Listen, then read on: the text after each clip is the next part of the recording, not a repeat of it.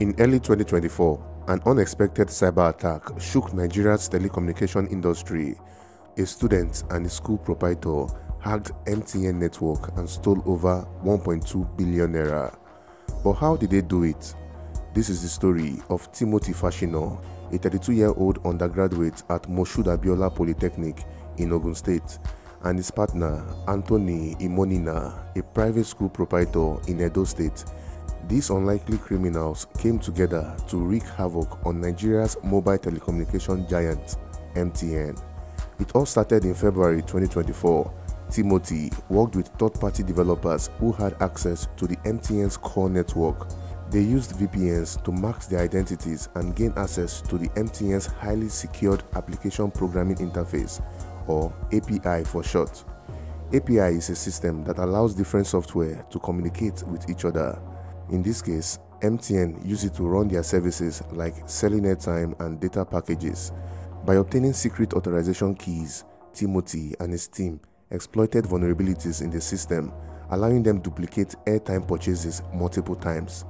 From one legitimate purchase of 100,000 naira worth of airtime, Timothy's team was able to replicate transactions again and again until the value of the stolen airtime hit over 1.2 billion naira. But airtime alone isn't enough, you need to convert it into money. This is where Anthony stepped in. Anthony downloaded the MTN's mobile app and logged in using Timothy's phone number. With access to the app, Anthony then converted the fraudulent airtime into data.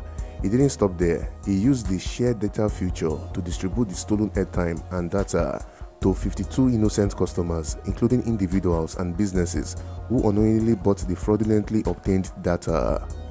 In exchange for selling the stolen airtime and data, Anthony received over 1.2 billion naira, of which he kept a hefty commission of 87 million naira.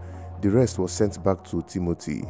The proceeds of this fraud was quickly used to buy assets like 110 hectares of farmland, expensive cars like Hiace buses and Toyota Sienna, a warehouse and even cryptocurrency of 21,000 USDT. But the law eventually caught up with them. MTN's internal audit discovered the massive discrepancies. They quickly informed the Special Fraud Unit of Lagos, which led a full-scale investigation.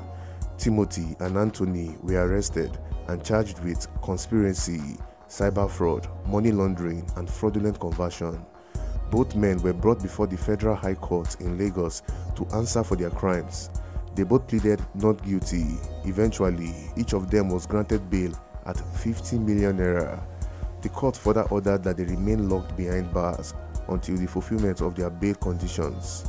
Authorities are now hunting down the third-party developers who helped carry out the hack and are continuing to trace the assets purchased with the stolen funds. This case serves as a chilling reminder of how even telecom giants can fall victim to a few lines of malicious code. The question remains, how many hacks are actually ongoing and yet to be discovered? And more importantly, how many more hackers are out there waiting to strike? Remember, crime doesn't pay. Stay safe.